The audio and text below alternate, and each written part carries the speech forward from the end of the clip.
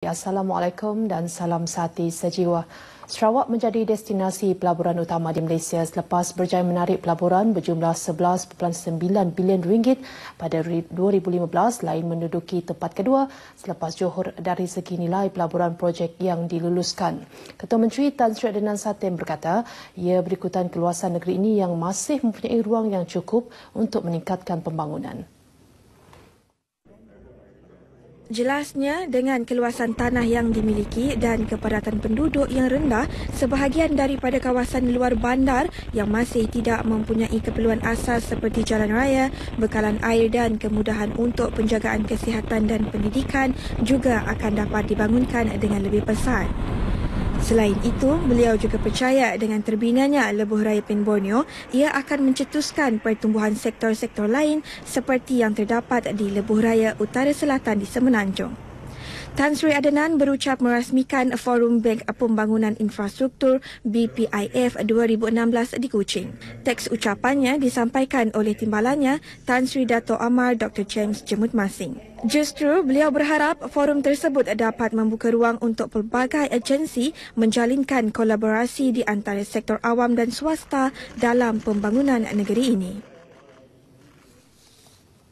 Sementara itu dalam sidang media selepas majlis tersebut Tan Sri Dr James berkata pihak bank khususnya Bank Pembangunan Malaysia Berhad memainkan peranan penting dalam agenda pembangunan infrastruktur di negeri ini. Ia dari aspek pembangunan jalan raya di kawasan luar bandar yang ketika ini masih ketinggalan dan memerlukan peruntukan yang amat tinggi. Tan Sri Dr. James yang juga Menteri Pembangunan Infrastruktur dan Pengangkutan menjelaskan bagi membina satu kilometer sahaja jalan raya di kawasan luar bandar, ia memerlukan kos 16 juta ringgit. Where do I get the fund? I do not know yet. Until this morning, I said that the bankers will be willing to bank us up. So that's that is uh, some burden of my of my shoulder that we have the fund to do it. And I hope that the, the forum that we're going to have today will find our ways and means where the fund is, to make the funds available to us and what are the conditions for us to get that fund. Dalam pada itu, beliau turut memohon kepada pihak bank agar lebih bertimah rasa dengan subkontraktor di negeri ini sekiranya mereka gagal memenuhi tarikh tutup sesuatu projek. Tambahnya, selain bank, Sarawak juga memerlukan pelaburan dari luar dan dalam negara ke arah mencapai pembangunan infrastruktur. Sepanjang 2010 hingga 2015, Bank Pembangunan Malaysia Berhad telah meluluskan pinjaman lebih 2 bilion ringgit kepada negeri ini bagi pelbagai projek pembangunan infrastruktur. Selepas berbulan mengelak daripada dikesan pihak polis, seorang lelaki yang dikendaki berhubung satu kes bunuh di Miri Jun lepas akhirnya dicekup oleh satu pasukan dari cawangan jenayah berat diketuai Deputi Superintendent DSP Sarifuddin Mustafa pagi tadi. Menurut Ketua Jabatan Siasatan Jenayah Sarawak, Datuk Dev Kumar, suspek berusia 28 tahun itu ditangkap di sebuah rumah di Kampung Semariang Petraja Kuching pada pukul 5.30 pagi. Ketika dicekup, suspek berada dalam keadaan hayal dipercayai akibat mengambil dadah. Suspek akan dibawa ke Miri untuk membantu siasatan kes tersebut. Pada 6 Jun lepas, seorang wanita yang dipercayai bekas teman wanita suspek telah dikejarkan ke Hospital Miri oleh sepasang suami isteri kira-kira pukul 1 pagi akibat kecederaan serius di kepala dan badan. Mangsa yang berusia 25 tahun dan berasal dari Tudan itu meninggal dunia tidak lama kemudian selepas menerima rawatan. Pasangan suami isteri berkenaan kemudiannya dikenal pasti sebagai ibu bapa suspek. Polis yakin dapat menumpaskan kumpulan samur rantau yang dipercayai dianggotai warga asing dalam masa terdekat. Menurut Pesuruhjaya Polis Sarawak, Datuk Mazlan Mansur, modus operandi kumpulan ini telah dikenal pasti namun pihaknya memerlukan lagi kerjasama orang awam bagi menumpaskan kumpulan itu. Katanya setakat Ogos tahun ini sahaja pihaknya merekodkan sejumlah 30 kes samun bersenjata di seluruh negeri. Sedang merancang uh, tindakan uh, uh, bersepadu operasi uh, rantau untuk uh, mengesan dan menjejaki uh, kumpulan yang terlibat. Lah. Dato' Mazlan mendedahkan perkara ini kepada media selepas majlis pimpinan bulanan polis Sarawak di Kuching. Beliau berkata demikian ketika diminta mengulas mengenai kejadian samun bersenjata melibatkan empat orang mangsa diikat dengan tali dan diugut menggunakan parang di Jalan Setakan, Kota Semarahan baru-baru ini.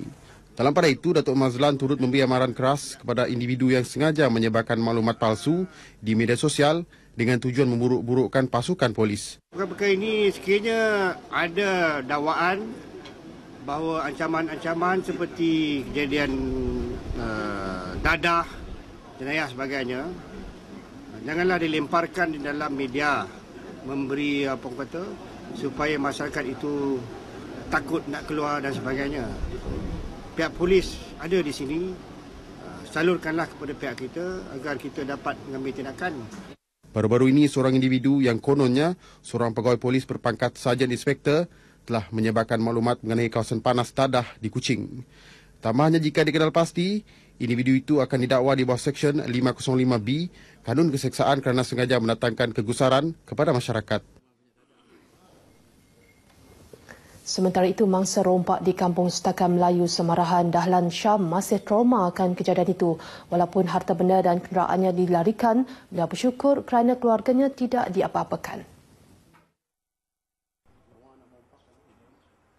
Dahlan yang ditemui pemberita RTM pagi tadi turut menceritakan detik cemas pencerobohan lima penjenayah terbabit. Takut pertama saya takut anak saya diganggu dia. Kedua takut dibawa lari kan. Takut dibawa lari. Kalau bawa lari memang masuk dalam kereta halak saya memang tak balik lagi lah. Malah beliau berharap agar pihak polis akan segera membekas kumpulan samun yang mengganas sejak awal tahun ini dan menjumpai kesemua hasil rompakan mereka. Politeknik Kuching Serak PKS berharap agar dapat diiktiraf sebagai pusat teknologi COT dalam bidang tujahan iaitu dalam kejuruteraan petrokimia. Ketua Pengarah Jabatan Pendidikan Politeknik Datuk Mokhlis Jaafar memberitahu setakat ini proses pengauditan baru saja selesai dijalankan oleh para pegawai dari bahagian perancangan Jabatan Pendidikan Politeknik dan Kementerian Pendidikan Tinggi.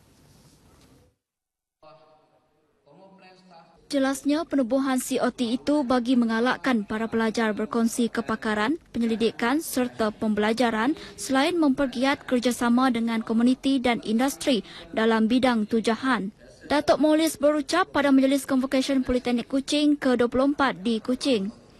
Sementara itu, beliau turut memberitahu PKS adalah antara lima politeknik di negara ini yang dipilih bagi pelaksanaan purata nilai grade kumulatif bersepadu ICGPA mulai Disember ini bagi menilai akademik dan penglibatan pelajar dalam kurikulum dan himat masyarakat. Ia selari dengan hasrat untuk melahirkan graduan yang seimbang dan holistik. Seramai 482 pelajar yang terdiri daripada 13 jurusan menerima diploma masing-masing pada hari terakhir Majlis Convocation Politeknik Kuching hari ini. Mesyuarat dua hala di antara Tentera Darat Malaysia TDM bersama Tentera Nasional Indonesia Angkatan Darat TNI AD yang dikenali Unit Commander Meeting UCM Siri 1 2016 berlangsung di Markas 3 Brigade Infantry Malaysia di Camp Penrisen Kuching hari ini.